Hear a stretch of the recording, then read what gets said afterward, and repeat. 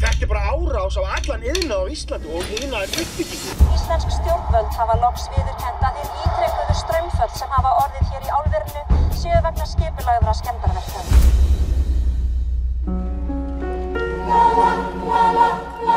Hvað var þyrlan að gera þarna? Þú verður að stoppa nú. Við verðum að klára Nei, planið. sko. Við erum líka síðasta kynnslóðin sem getur brugðist við og stöðvað hernaðin gegn móður jörð. Fjallkona.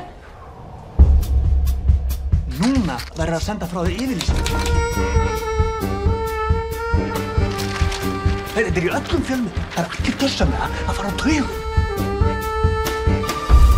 Guðmungur, stúlka. Ef þú ætla ekki að taka við barninu svo þurfum við að finna aðra aðlega. Þú ert að verða mamma. Það var allt eitthvað flóti núna.